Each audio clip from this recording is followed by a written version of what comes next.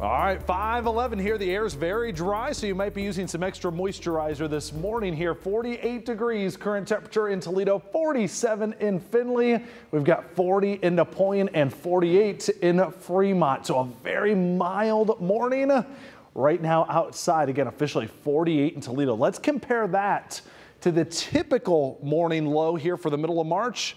We'd expect that to be down below freezing, 29 degrees. So we're about 20 degrees warmer than a typical mid-March morning.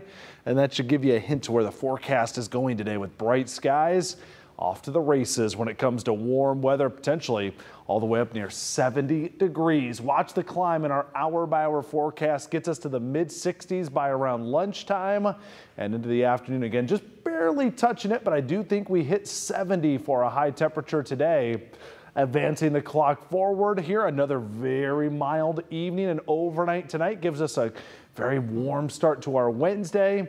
And there you see it once again. This is probably the warmest day of the week with that high hitting the low 70s for tomorrow.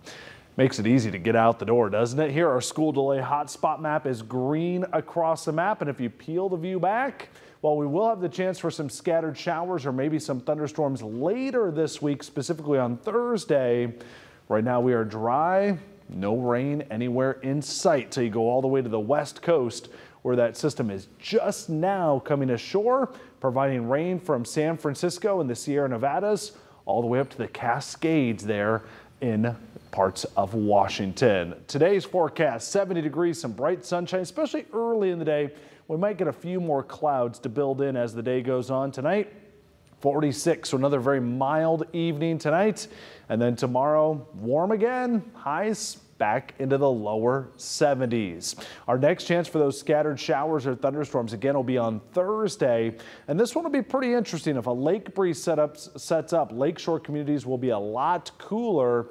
If not, a lot warmer here. Friday, a couple of lingering showers. Still looks a bit cooler into the weekend for St. Patrick's Day with the chilliest day of the entire 10 day forecast coming early next week.